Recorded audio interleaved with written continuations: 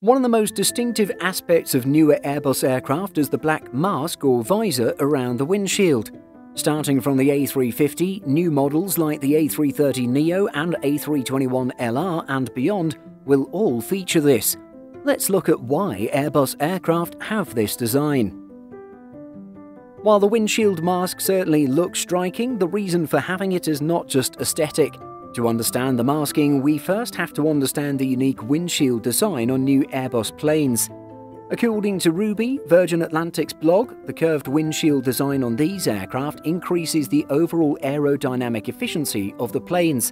The A350 was the first Airbus aircraft to feature a curved cockpit glass, which allows airflow to hug the surface of the glass, resulting in less turbulence and thereby reduced drag.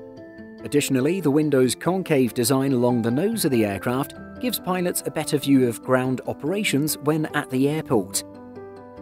But what about the black masking around the windshield? The black masking on this new windshield serves a purpose too.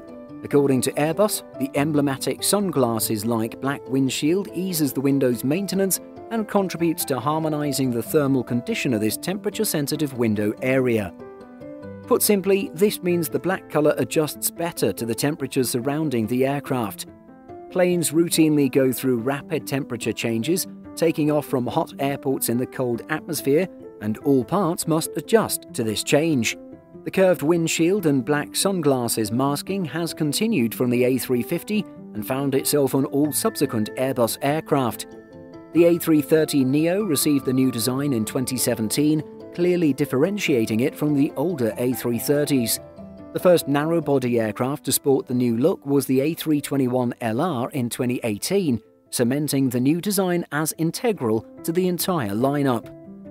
We also know that the upcoming A321XLR will also feature the black masking from renders of the aircraft. The decision means that nearly all Airbus planes made in the next decade will feature this striking design. Some people like the look of it, others don't. Regardless of where people stand on the aesthetics, the mask looks like it's here to stay as a functional design. What do you think about Airbus's design choice? Do you like it over Boeing's offering? Let us know in the comments.